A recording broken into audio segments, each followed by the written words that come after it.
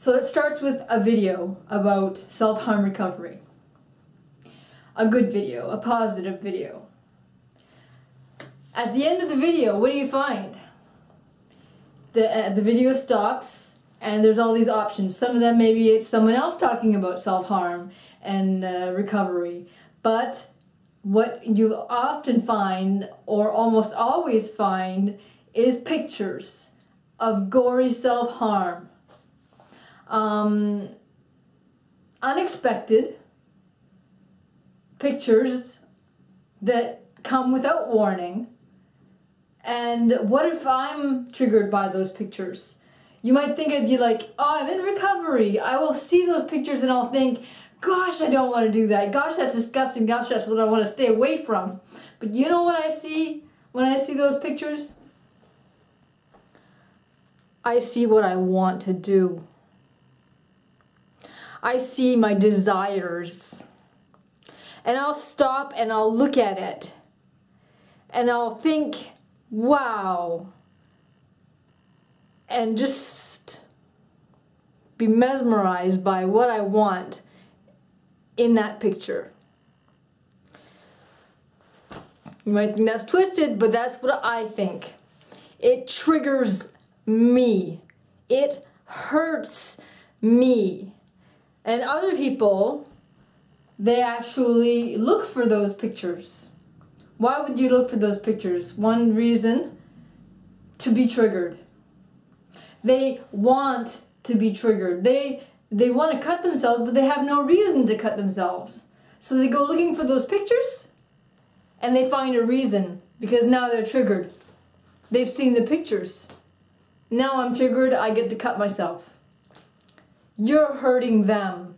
If you're putting that kind of picture in a video and the thumbnail is blood and guts, or anything in the video is blood and guts, and you or the, the, the thumbnail isn't blood and guts and you start watching it and suddenly there are some and there was no trigger warning you're hurting people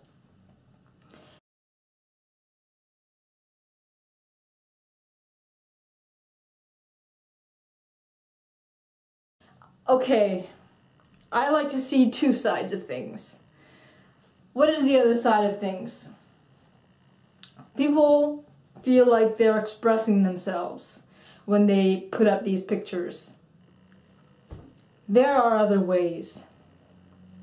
There are other ways to express yourself. There are other ways to avoid self-harm than putting up those pictures that hurt, that may help you in that moment, but hurt how many people? How many people are going to click on that video? How many people are going to go past that thumbnail? How many people are going to see this and decide, well, now I need to cut myself?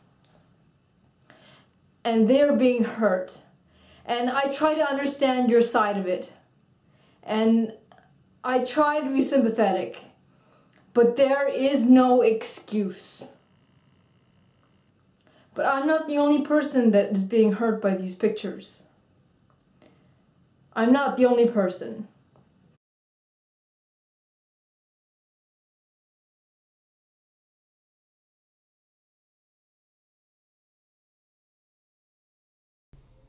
You are hurting me.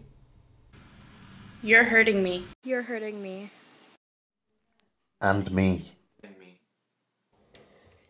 You're hurting the ones I care about. You're hurting my friends. You're hurting me.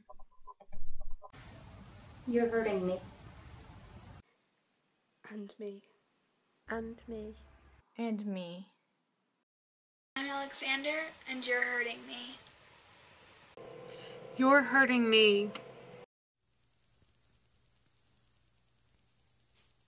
You're hurting me. You're hurting me. You're hurting me. And me.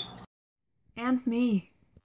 You are hurting me. And me.